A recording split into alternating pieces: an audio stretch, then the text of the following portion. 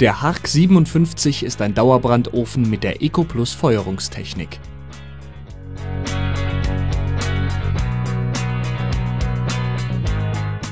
Die Verkleidung des Kaminofens kann mit keramischen Ofenkacheln in verschiedenen Glasuren oder mit Speckstein erfolgen.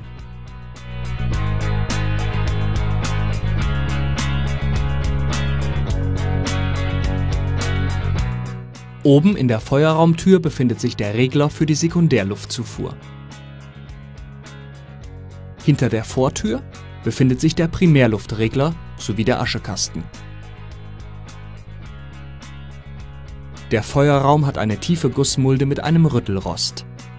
Der mit einer Spezialkeramik ausgekleidete Feuerraum wird oben mit dem Feinstaubfilter abgeschlossen